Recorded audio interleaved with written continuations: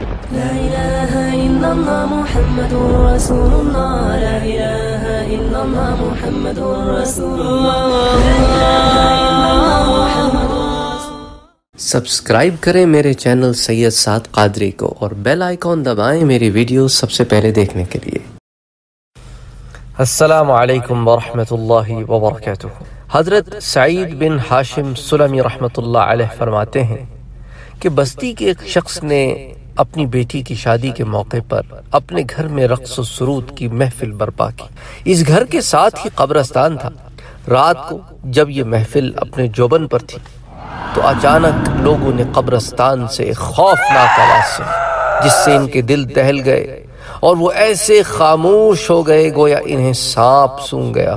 پھر قبرستان سے کسی نے اشعار پڑھے۔ یا اہل لذتی لہوی لا تدوم لہم ان المنایا تبید اللہو واللعب اے لہو واللعب کے ناپائیدار لذتوں میں منہمک لوگوں، بے شک موت لہو و لعب کو ختم کر دیتی کم قدر ایناہ مسرورا بلذته، امسا فریدا من الاہلین مغتربا۔ کتنے ہی ایسے تھے جنہیں ہم نے اس لذت میں مست دیکھا، مگر وہ اپنے ہمراہیوں سے جدا ہو کر دنیا چھوڑ گئے۔ حضرت سعید بن ہاشم سلمی فرماتے ہیں کہ خدا کی قسم، ابھی چند دن ہی گزرے تھے کہ دورے کا انتقال ہو گیا۔ موسوعہ ابن ابی الدنیا کتاب القبور، من حتف من المقبرتی بموعدہ، حدیث نمبر بارہ۔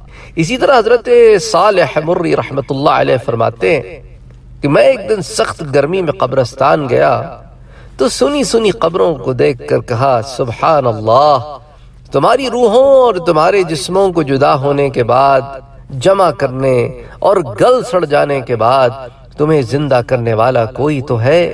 کہتے ہیں اسی اسنا میں، ایک گڑھے سے آواز آئی، اے صالح اس کی نشانیوں میں سے ہے کہ اس کے حکم سے آسمان اور زمین قائم ہیں۔ پھر جب تمہیں زمین سے ایک ندا فرمائے گا، جب ہی تم نکل پڑو گے۔ صالح کہتے ہیں، یہ سن کر مارے دہشت کے میں منہ کے بل گر پڑا۔ موسوعہ ابن ابی الدنیا، کتاب القبور، من حتیف من المقبرت بموعدہ حدیث نمبر تیرہ۔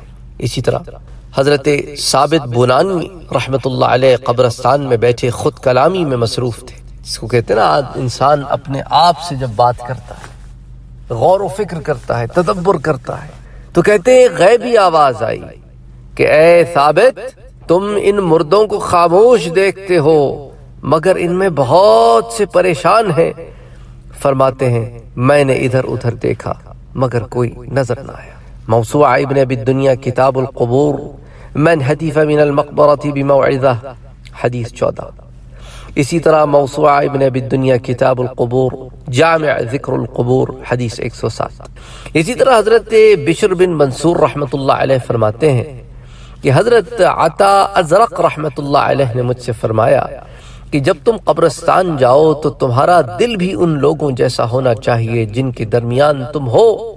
تو حضرت عطا ازرق فرماتے ہیں کہ ایک مرتبہ میں قبرستان گیا اور اپنے بارے میں سوچ رہا تھا کہ ایک غیبی آواز آئی، اے غافل، تو ان لوگوں کے درمیان ہے جو یا تو اپنی نعمتوں میں مزے کر رہے ہیں یا پھر عذاب کی سختیوں میں پلٹے کھا رہے ہیں۔